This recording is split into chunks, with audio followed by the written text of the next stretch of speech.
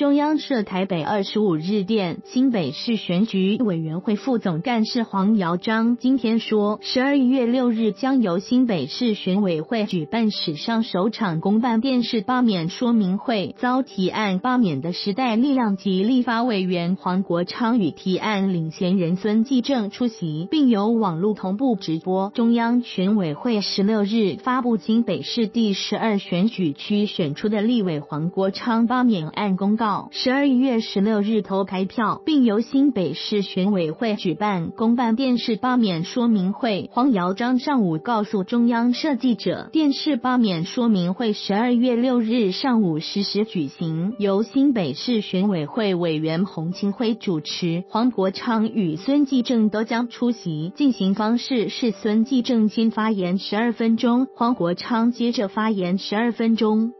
随后，孙继正第二轮发言十二分钟，黄国昌第二轮发言十二分钟后结束。现场不开放提问或采访。他说，双方预定在说明会前三十分钟抵达会场，随同人员不得入场，但开辟两间休息室供随同人员休息，另有规划采访区。黄瑶章表示，与过去一些公职竞选时的电视公办证件发表会录制拖播方式不同，由于外界十分关注罢免案，电视罢免说明会将直播，也同步在影音网站 YouTube 直播，让关心的民众可及时掌握最新资讯。电视罢免说明会将于系指观天下电视台现场直播，其他有兴趣的电视台可到现场直播，但需完整播放，不得插播广。